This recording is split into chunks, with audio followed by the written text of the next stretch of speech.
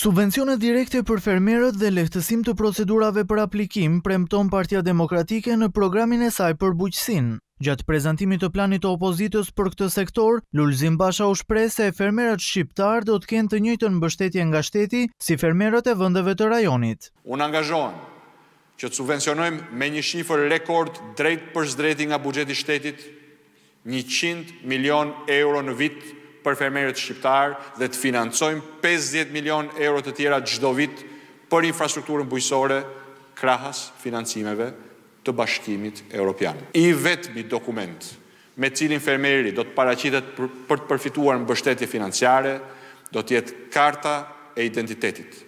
numri unik i së cilës do të shërbejë edhe si nipti i fermerit. Basha u zotua të heqë edhe taksën për tokën dhe të mbështesë promovimin e produkteve shqiptare në tregun europian.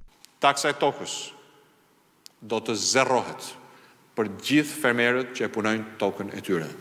Do të fuqizojmë aksesin në tregjet e huaja duke ngritur agjencinë e promovimit të eksporteve shqiptare.